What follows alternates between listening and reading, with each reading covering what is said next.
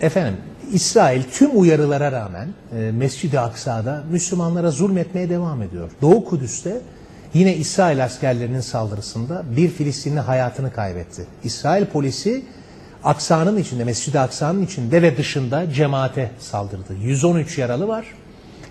E, daha önce de yaptıkları gibi 50 yaş altı Müslümanların Aksa'ya girişleri yine yasaklandı.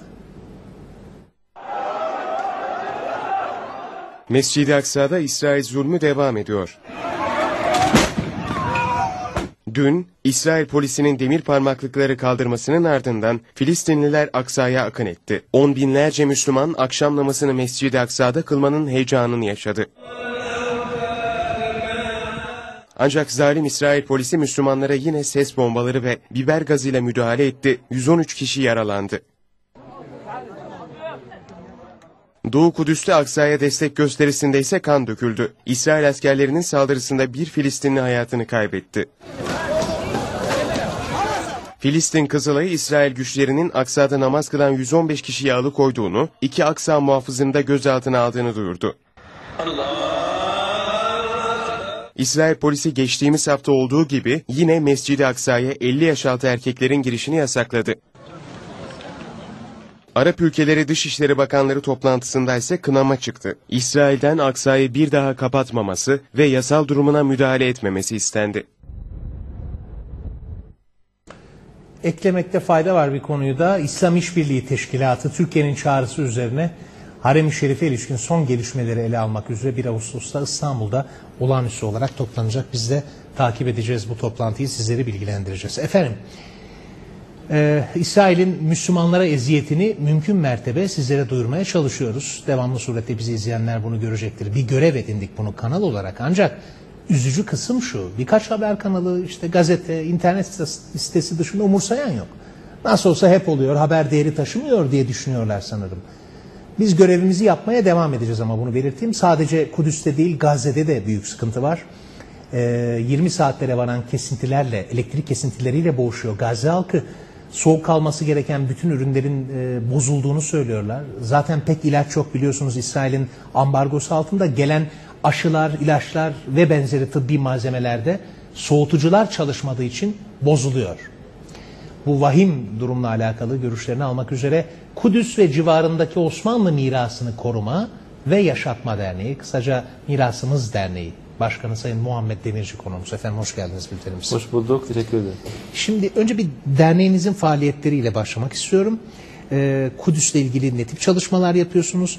Osmanlı mirasını korumak amaçlı e, derneğinizin adını da bu şekilde koydunuz. Orada neler var Osmanlı'dan yadigar, e, Osmanlı'yı anabileceğiniz ne tip eserler var? Biraz Evet, öncelikle teşekkür ediyoruz. Böyle güzel bir gündeme konuyu e, sürekli gündeme getiriyorsunuz. Sağ olun. Ee, Sağ olun. Bu önemli bir e, vazifeyi siz üstlenmişsiniz. Allah sizden razı olsun. Sağ olun. Ee, şimdi biz de e, Mirasımız Derneği olarak kurulduğumuzdan bu yana 10. yılını e, tamamlamış bulunuyoruz bu sene inşallah. E, sadece Kudüs'te Mescid-i Aksa'da çalışma yapan dünyada ilk dernek. Ve Kudüs'te e, Kudüs'e en son hakim olan e, Osmanlı'ydı. 1917 yılında Kudüs'ten çekilmek zorunda kaldı ve o günden bugüne kadar Kudüs işgal altında. Uluslararası kanunlarda da işgal altında. Ve bugün Osmanlı'nın kanunları Kudüs'te geçerlidir. Kudüs'teki tarihi eserlerin %70'den fazlası Osmanlı'ya ait. Biz de dernek olarak hem o Osmanlı eserlerini, camileri, ham, e, hanları, hamamları, Müslümanın evlerini ayakta tutacak faaliyetleri yapmaya çalışıyoruz. Bir de bu faali, bu e, eserleri e, ihya eden, bu eserlerden nöbet tutan, bu eserleri boş bırakmayan Kudüs halkını da destekleyecek projeler, faaliyetler yapıyoruz elhamdülillah. Bugüne kadar 46 caminin restorasyonunu bitirdik.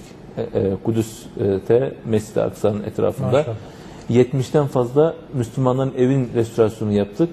E, yüzlerce aileye biz bakıyoruz, yetimlerimiz var. Bütün bunları Kudüs'te Mescid-i Aksa'da 350 bin Müslümanın e, korunmasıyla alakalı çalışmalarımızı yürütüyoruz. Dünyada sadece Kudüs'le alakalı e, kurulan e, tek derneğiz e, bu konuda. Şu an elhamdülillah çok sayıda dernek var ama 2008 yılında ilk kurulduğumuzda tek dernek, dernektik o yıllarda. E, ama elhamdülillah şu an e, Kudüs Mescid-i Aksa'nın bilinci E, inşallah daha da üst noktalara e, gelecektir. Buna inanıyoruz. Dernekler, vakıflar çok sayıda şu an e, oraya e, faaliyet yapıyorlar. Yani şimdi şunu merak ediyorum. Ee, bir direniş orada söz konusu. Zaten daha evvel intifadalar da yapıldı. Yani İsrail'e karşı. Ee, Allah'tan bu kadar baskının ardından İsrail'e karşı e, bayrağını dikebildik Birleşmiş Milletler'in bahçesine. Ancak yine de sessiz dünya. Müslümanlar nasıl savunuyorlar e, kendi değerlerini? Neler yapıyorlar? Çünkü ellerinde hiçbir şeyleri de yok.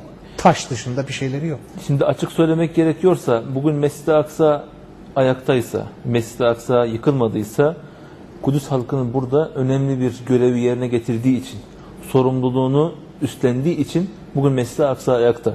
Onu bir kere Yoksa e, yoksa Mescid-i Aksa yıkılmıştı. İsrail'in planı 2011 yılında Mescid-i Aksa'yı ikiye bölecekti normalde. Bunu e, açık bir şekilde İsrail Meclisi'nden, İçişleri Bakanlığı'nın komisyonlarından geçti bu karar. Bütçesi de hazırlandı ve 2009 yılında Kudüs Belediyesi Mescid-i Aksa'yı kamu alanı olarak ilan etti. Yani bu normalde şimdi bugüne kadar çoktan olmuş olacaktı. ikiye bölmekten kastınız fiziksel Yarısı- olarak Fiziksel olarak yarısı Müslümanların mescidi, Mescid-i Aksa, yarısı bir sinagog haline dönü- dönüştüreceklerdi. Bunun aynı e, bu modelin aynısını El Halil şehrinde zaten İsrail yapmıştı. E, El Halil e, camisini, e, Halilrahman camisini yarıya böldü 1994 yılında. Caminin %60'ı bugün sinagog olarak kullanılıyor. %40'ı sadece Müslümanların ibadet yeri ve mescide El Halil mescidine girmek e, X-ray cihazlarından anca geçebiliyoruz. E, demir parmaklıklar vasıtasıyla anca girebiliyoruz. Bu durumun aynısını İsrail Mescid-i Aksa'da geçtiğimiz iki hafta önce 14 Temmuz tarihinde yapmak istiyordu. Mescid-i Aksa'yı 3 gün boyunca tamamen kapattı ve Mescid-i Aksa'yı açtığında e, X-ray cihazları ve e, parmaklıklar e, ancak e, girebiliyorsunuz Mescid-i Aksa'ya. Bu durumu Kudüsler aynı benzerini El Halil Camisi'nde, Halilrahman Camisi'nde gördükleri için bunu kabul etmediler ve direniş e, sonucunda elhamdülillah Mescid-i Aksa bugün açıldı ve tamamen X-ray cihazları da kalktı, kameralar da kalktı, demir parmakları da kalktı, hepsini kaldırdılar. Kudüs'ün burada net e, duruşu vasıtasıyla bu oldu ve dünya Müslümanları yani e, bu iki hafta sürecinde hakikaten onu da hakkını e, yememek lazım dünya Müslümanı ciddi anlamda Kudüs halkın yanında olduğunu hissettirdi. Yani e, biz burada Türkiye'deki Müslümanlar, dünyadaki Müslümanlar eğer Kudüs halkının yanında olduğumuzu sürekli e, hissettirirsek e, Mescid-i Aksa'mız hiçbir şey yapmadan zaten korunur ve oradaki işgal tamamen kalkar. Zaten Birleşmiş Milletler e, kanununa da kararlarına da ora, o, e, İsrail orada bir işgalci konumunda. E, o işgal oradan derhal kalkmalı.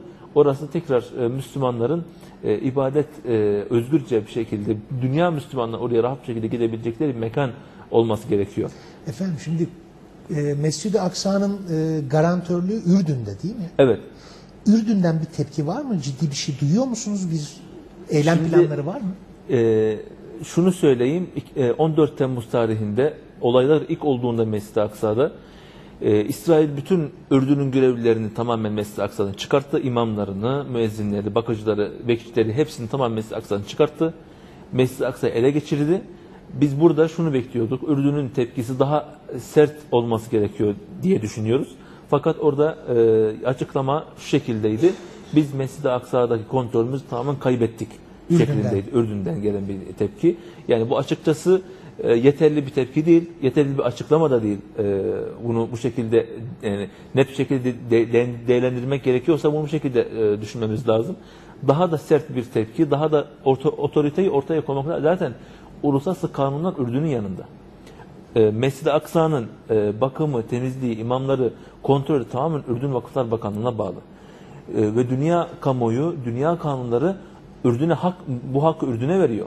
UNESCO bile 3 ay önceki çıkarttığı bir kararda daha yakın bir tarihte Mescid-i Aksa Yahudilikle bir alakası yok dedi. Ve tamamen Ürdün'e veriyor bu hakkı. E, 7-8 ay önce de başka bir karar çıkartmıştı UNESCO. E, uluslararası kanunlarda Mescid-i Aksa'nın altında veya üstünde yapılan e, kadı çalışmalar hukuk dışıdır ve bu e, Mescid-i Aksa'nın altında Yahudi tarihine ait herhangi bir eser yoktur diye e, bir beyanat e, çıkartmıştı UNESCO. Buna rağmen bizim bütün uluslararası kanunlar e, bizim yanımız e, yanımızdayken İsrail bu şekilde eğer davranabiliyorsa hala demek ki biz Mescid-i Aksa'yı yalnız bıraktığımız için e, bu bu şekil bu hale geliyor. Ve bunu aynı bu ifadeyi Cumhurbaşkanı da kullandı. Dedi ki Mescid-i Aksa'ya sahip çıkmadığımız için Mescid-i Aksa bu halde e, veya bizim sahip çıkmamız yetersiz de demektir. Daha da fazla sahip çıkmamız gerekiyor Mescid-i Aksa'ya. Dünya Müslümanları 2 milyar Müslüman var Kudüs'te. E, dü- dü- dünyada. Ve Kudüs'te sadece 350 bin Müslüman var. Eğer biz 350 bin Müslümana sahip çıkamıyorsak dünya Müslümanları olarak e, hakikaten bizim Yazıklar olsun. yazıklar olsun Deyin, bize deyin yani. yani, deyin. Yani bu hakikaten çok üzücü bir üzücü bir, bir tablo. Yoksulluk sınırı bugün Kudüs'te %86'yı geçmiş durumda. Yani bu dünyanın herhangi bir şehirde böyle bir yoksulluk e, oranı yok. E, Kudüslerin %75'i e, işsiz e, durumda şu an. İşsizlik oranları %75. Yani dünyanın herhangi bir şehrinde bir şey başkentinde İslam'ın başkenti diyebiliriz e, biz Mescid-i Aksa. İlk kıblemiz. İlk kıble. E, bizim e, tarihimiz, onurumuz, dinimiz, akidemizden bir parça olan Mescid-i Aksa ve orada nöbet tutan Müslümanlar sadece 350 bin Müslümana biz e, sahip çıkamıyoruz. Ciddi anlamda e, sıkıntılı bir e, bir tablo ortaya çıkıyor. İsrail bilerek Kudüs'teki yaşam standartlarını yüksek tutuyor. Yani bir evin kirası bugün Kudüs'te 2000 dolar. Aylık kirası. dolar mı? 2000 e, pardon e, 1000 dolar evin kirası.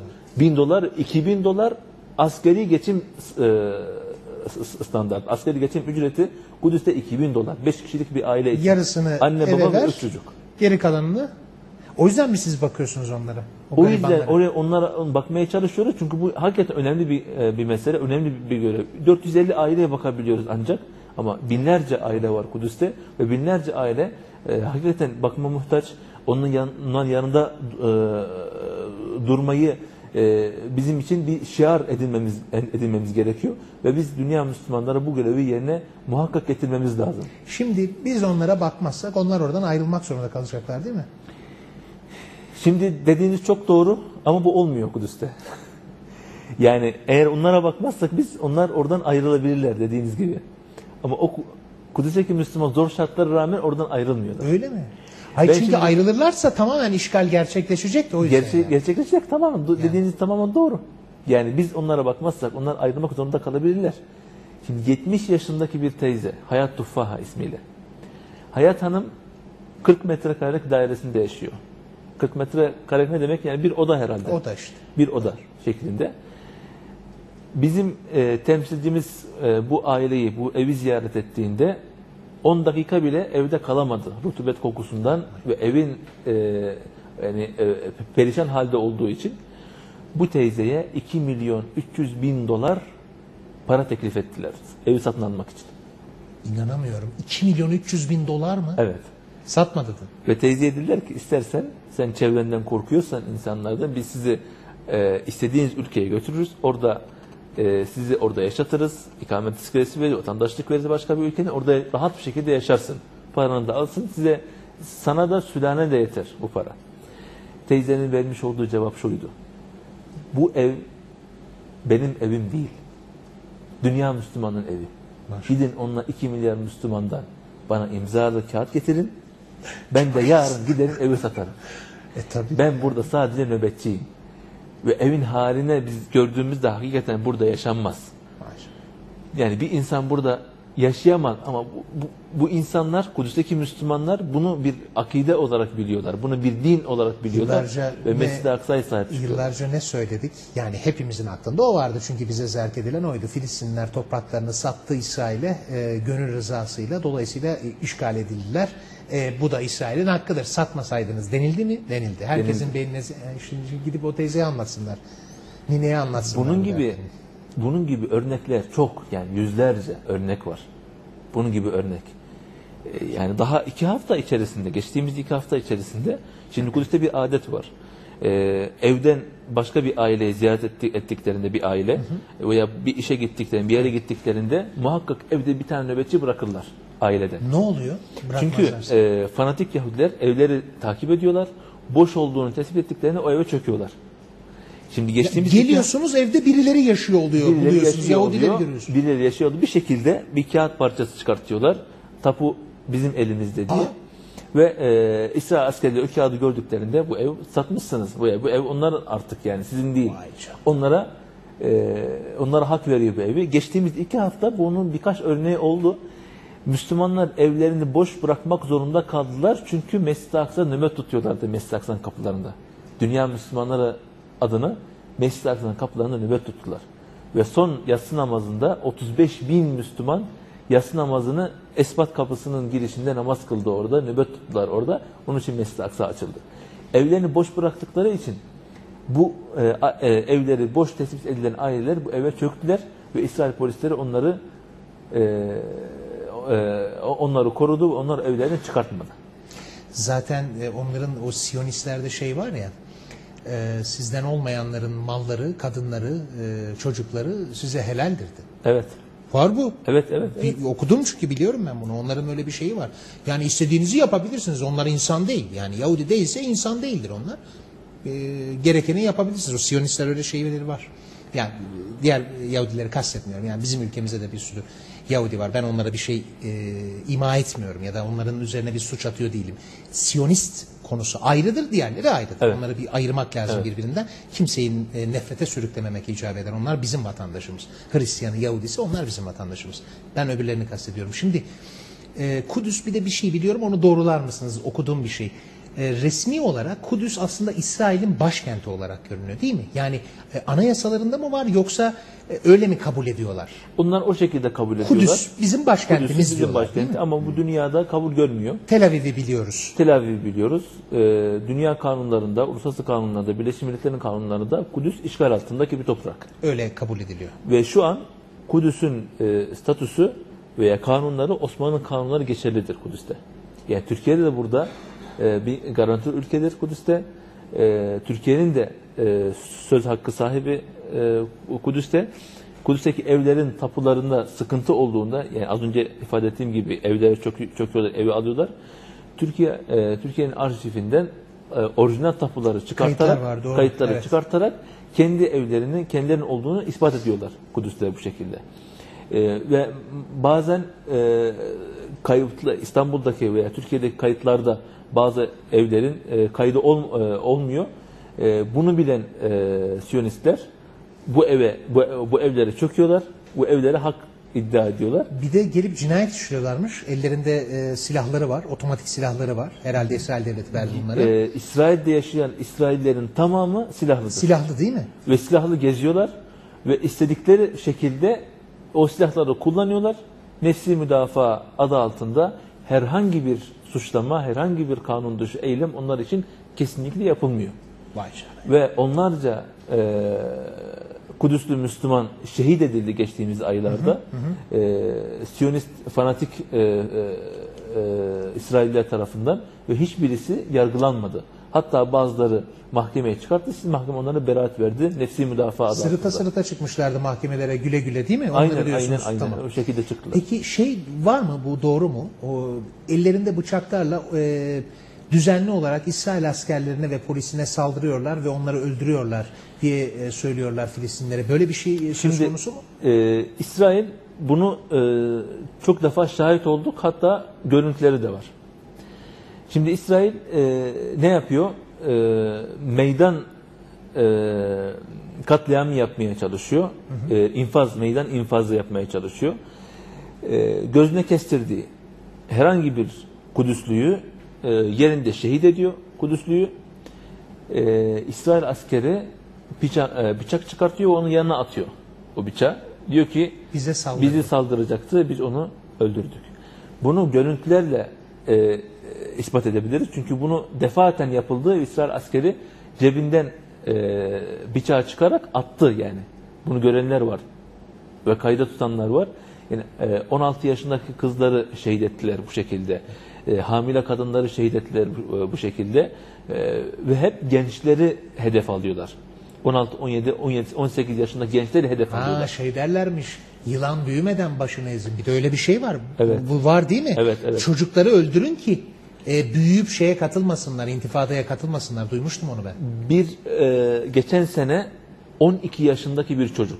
12 yaşında. Yine aynı şekilde e, çocuğa silahla vurdular. Çocuk şehit olmadı, yaralandı. Çocuğun yanına bıçak attılar ve çocuğu tutukladılar. Çocuk ölmedi. Ee, tuttular şu an hapishanede yargılandı çocuk. Şöyle bir şey oldu. Yani bu İsrail için büyük bir skandal aslında. Çocuğu sorgu esnasında e, birileri videoya çekmiş çocuğu. Yani onların e, işte bu bu bu video da medyaya e, y- y- Ben yansıdı. hatırlıyorum sanki onu. Askerlerden biri Askerler dayanamayıp çekmişti. Tamam Evet, tamam evet. videoyu. E, çocuğa o kadar hakaretle yıldırıyorlar ki sorgu esnasında. Çocuk da 12 yaşında o darbede yedi e, kurşunla hafızasını kaybetti çocuk. E, çocuk şu, şu cevabı veriyor sorgu esnasında. Ona o kadar yükleniyor ki İsrail askeri. e, sen yaptın, itiraf et. Sen yaptın, itiraf et. yük- Yükleniyor. O da şu cevabı veriyor. Ben bilmiyorum. Sen kimsin? Sen ne konuşuyorsun? Yapmışsam yapmışımdır diyor. Ben bilmiyorum diyor. 12 yaşındaki çocuk. Sen bu çocuktan ne istiyorsun? Şimdi e, tabii Türkiye'nin çok müdahil olmasından müthiş rahatsızlar. Yani Mescid-i Aksa korunacaksa Ürdün'ün garantörlüğünü gördük söylediğiniz üzere. Lafı güzaf. E, Türkiye'nin burada aktif olması onları rahatsız ediyor. Çünkü bir şeyler yapabilecek tek ülke biz kaldık ne yazık ki. Geçtiğimiz haftada İsrail e, bir gazetede e, Türkiye Kudüs'ü İslamlaştırmaya çalışıyor diye bir ifade Kudüs'ü. İslamlaştırmaya mı Evet, çalışıyor? Kudüs zaten Müslümanların. Bu kadar saçma sapan bir laf. Yani- Zaten Müslüm, İslam toprağıdır. Çok çirkin şeyler de söylediler de e, onu bulamadım şimdi. Cumhurbaşkanı Erdoğan'a karşı. Erdoğan biliyorsunuz çok hassas bu konuda yani. Bu cümleyi Cumhurbaşkanı için söyledi. Erdoğan Kudüs'ü İslamlaştırmaya çalışıyor. bir şey yorum yapılacak bir şey değil komik.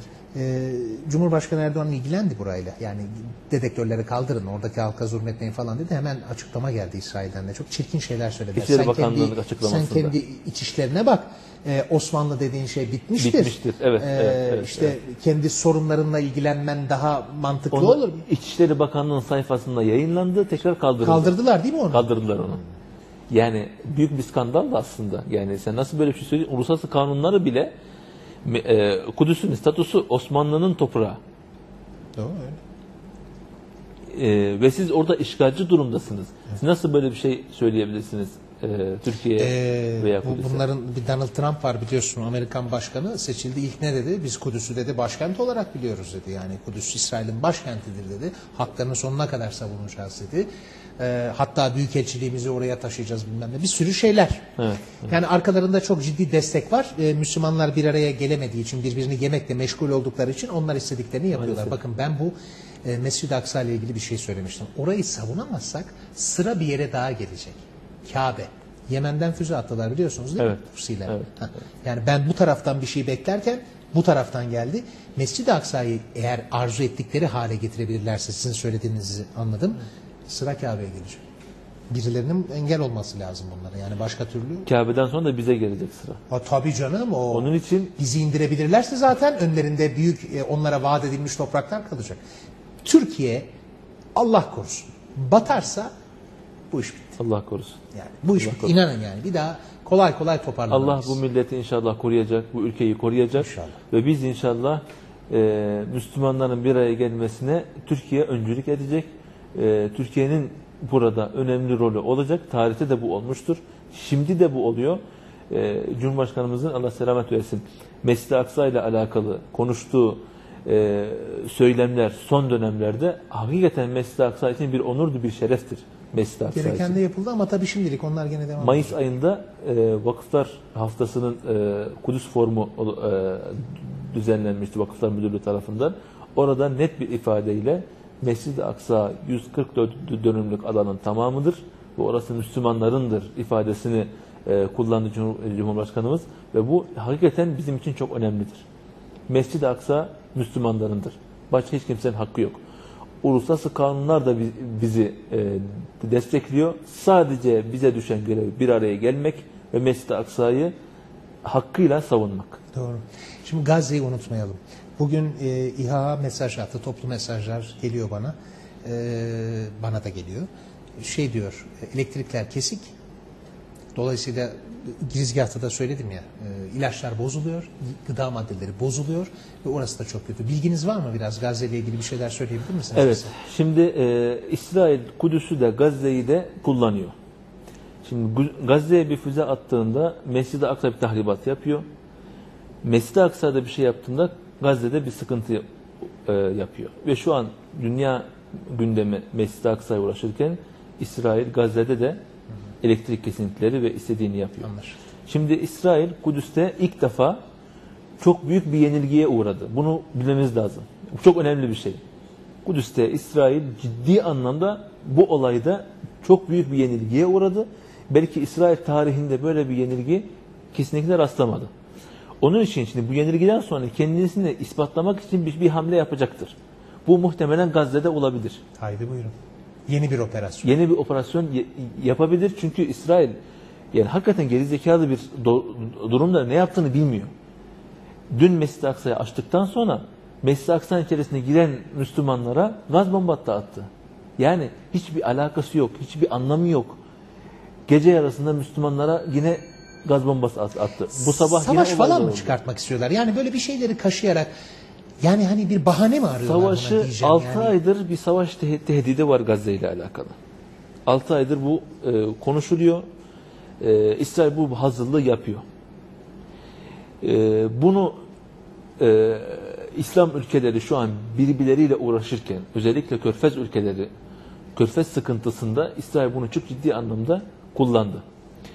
Bu e, dünya me- medyası gündemi e, kendimizle biz uğraşırken İsrail bu e, hamleyi yapacaktı. Gazze yapacaktı.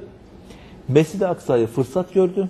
Üç şehidimiz oldu mes- e, evet. iki hafta önce Mescid-i Aksa'da. O hamleyi Gazze yerine Mescid-i Aksa'da yaptı. Ama bu şu anlama gelmez. Şu an Gazze'de bir sıkıntı yapmayacak anlamına gelmez. Çünkü o o hazırlığı yapıyor İsrail. E, aylardır o hazırlığı yapıyor. Cesaret edemiyor Gazze'ye girmek veya tekrar bir savaş açma Gazze'ye. Ama böyle bir hazırlık da İsrail'de var. Bu konuşuluyor. E, hazırlıklar yapılıyor.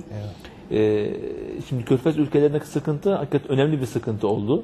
E, yani gereksiz aslında. Dünya e, ve biz kendimizle e, uğraşırken İsrail bunu fırsat olarak bildi ve tarihinde hayal edemediği şekilde Aksa sanki onun için bir e, bir tabakta verilmiş gibi e, geldi. Mescid-i Aksa'yı olay e, bahane ederek kapattı Mescid-i Aksa 3 gün boyunca. Hiçbir yerden ses gelmeyince bu baskıyı devam ettirdi ama Kudüs'teki Müslümanlar karşı tavırları koyduğunda Mescid-i Aksa'yı açtı ama kontrol bizde dediler. Biz de zaten İsrail işgal devletiyle mücadelemiz Mescid-i Aksa üzerinde kontrol mücadelesidir. Doğru. Kontrol şu an uluslararası kanunlarda Ürdün'ündür. Ürdün Vakıfı Bakanlığı Aksa'ya bakmak zorunda. Ve İsrail bunu bilmesi lazım. Türkiye'nin de burada hakkı vardır Mescid-i Aksa üzerinde. Bunu da İsrail bilmesi lazım. Ürdün'ün şekilde etine budu ne şimdi yani hani bu, bu konuda ancak ses çıkartabilecek gene biz kalıyoruz. Hayır şu, şunu söyleyeceğim İsrail elbette bu fırsatları değerlendiriyor. Ee, İslam ülkelerinin kendi arasındaki kaos e, yaşaması onu mutlu eder. Ayrıca bunu tetikleyenlerden de biri olduğunu biliyorum. E, gizli servisleri marifetiyle. Ancak yani e, İslam ülkeleri zaten mesela Hamas'a e, mesela Filistin Kurtuluş Örgütü'ne hep bir mesafeli oldular. Yani gerçekten temsilcisi rolünde olan hani Mısır'dır, Suudi Arabistan'dır, Arap dünyasının Evet. hep bir mesafeleri oldu. Tamam hani nefret kusmadılar belki ayrı konu ama hep mesafeli oldular. Dolayısıyla bu İsrail'e hep fırsat verdi. Yani biz bunu nasıl çöz? Şimdi bunu çözmeden yani İslam ülkelerinin bir konsensüsünü sağlayamadan bir tek İran e, Hizbullah üzerinden İsrail'e karşı devamlı tehditler savurur ama onu da ben pek şey görmüyorum. Yani pek böyle samimi bir açıklama Sözde. değil. Yani sanki birbirinin antitezi oldukları için iç politika malzemesi gibi kullanıldığını tahmin ediyorum. Yani İsrail için de kullanışlı bir yöntem. İran'a İran için de. değil mi? İran için de kullanışlı bir yöntem. Onu da pek şey bulmuyorum yani samimi. Ama diğer İslam ülkelerinde de büyük bir tavır var. Bunu nasıl çözeceğiz? Mezhep işini karıştırmadan işe. Bunu nasıl çözebiliriz? Yani ne yapabiliriz? Bu olmadan olmaz çünkü. Yani böyle durumlarda eee, ben defaten söyleyeyim, tekrar söylüyorum. Biz Müslümanlar halk olarak birlikte hareket etmemiz lazım. Halklar. Halk halk doğru evet. Başka bir çözümümüz yok. Olmuyor. Ve biz her Müslüman kendi yapabildiği, yapacağı görevi yerine getirmesi lazım. Başkasının da görevini de zorlaması lazım kendi için. Kendi yapması lazım bunu. Biz şöyle bir şey düşüyoruz zaman zaman. Ya o yapmadı. O böyle dedi. Ya şu bak ne, yaptı? Onların kimin ne yaptığı e, e, bizim için önemli değil. Biz ne yapıyoruz burada? Yani Suudi Arabistan'ı biliyoruz. Yani şu an e, ben açıkçası hayretler içerisinde kalıyorum bazen. Bazı açıklamalar, açıklamalarda. Suudi Arabistan'ı geçtiğimiz aylarda Müslüman kardeşleri terör listesine ekledi. Ekledi evet. Yani kime hizmet? Kime Ya hizmet? Katar'daki Türk üssünün kapatılmasını maddelere koydular. Bu kime hizmet? Kime hizmet ediyorsun? Amerika Birleşik Devletleri'ne. Çünkü Amerika'nın da üssü var orada. Y- Yıllardır Türkiye- Amerika'nın üstü var da bir sesiniz çıkmadı. Bugün Türkiye'nin üstü olduğuna niye bu, bu şekilde tepki koyuyorsunuz, Olmaz koyuyorsunuz yani? Birleşik Arap Emirlikleri aynı şekilde yine Müslüman kardeşleri e, ambarı kurdu, e, terör listesine ekledi. E Hamas da bunlardan. E sen Ha- Hamas'ı da mı terör listesine ekliyorsun? Demek ki eklediler. Yani demek Yani ki bu- öyle görüyorlar. Ve e, toplum sessiz kaldığımız müddetçe bunlar istediklerini yapacaklardır. Ama biz toplumda ben de bir toplumdan bir ferdim. Siz de bir fertsiniz ve her bizi dinleyen şu an herkes bir fert bu toplumdan. Biz yakın olarak bu toplumu teşekkür ediyoruz. Bu, bu e, toplum bir araya getiriyoruz. Biz toplum olarak eğer duyarlılığımızı üst düzeye çıkartabilirsek, taşıyabilirsek karşı tarafı biz e, yaptırım gücüyle e, doğru yola sevk edebiliriz. Ama biz sessiz kalırsa onlar istediklerini yaparlar. İşte yani anlatıyoruz elimizden geldiği kadar. Umarım sıkılmıyordur dinleyenler de. Yani hani de, devamlı bu konudan bahsediyoruz. Ee, yani umarım rahatsız olmuyorlar. Yani konuşacak başka bir konu yok mu demiyorlardır umarım. Bu en önemli konumuz, en önemli davamız Kudüs ve Mescid-i Aksa ve Müslümanların bir araya gelmesi. En önemli davamızdan bir tanesi bunlar. Değil mi? Yani başka bundan daha önemlisi yok.